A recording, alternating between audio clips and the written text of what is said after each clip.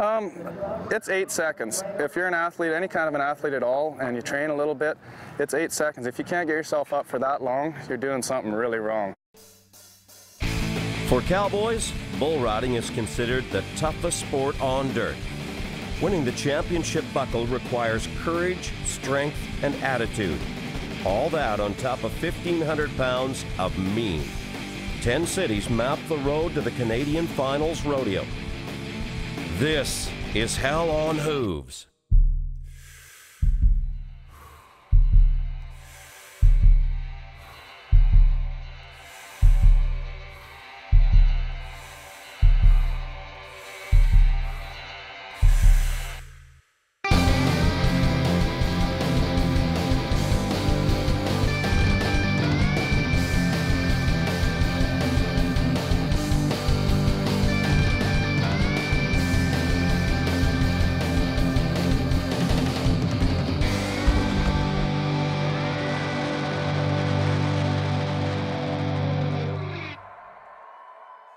The Medicine Hat exhibition and stampede has been a long living tradition since 1887.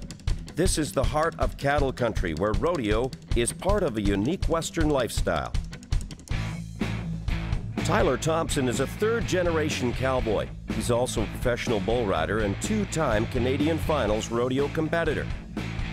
Over the next three days, he'll compete against 40 other bull riders in hopes of earning enough money to qualify for the finals once again.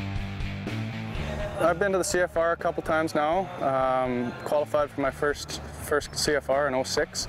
Um, competed there again in 07.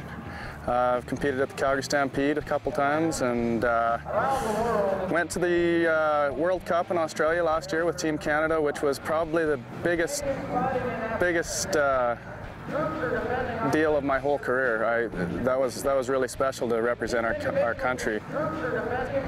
Our family was raised around it. I, I was brought up as whenever, like, as soon as I was big enough to walk, we were riding horses and. Uh, you know, you grow up around rodeo, and, and it's just something you, you're brought up with, and, and uh, that's that's kind of just the way. That's that's the way a lot of guys get into it. There's very few that don't get into it that that way riding sheep, and then you went on to the little calves and steers.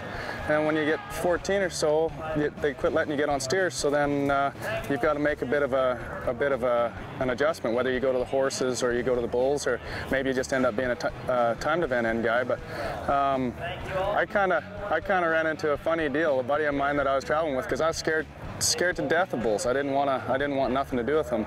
I wanted to be a, a bronc rider and. And uh, we showed up at a rodeo one day at the end of our steer riding career, and I was entered in the bull riding.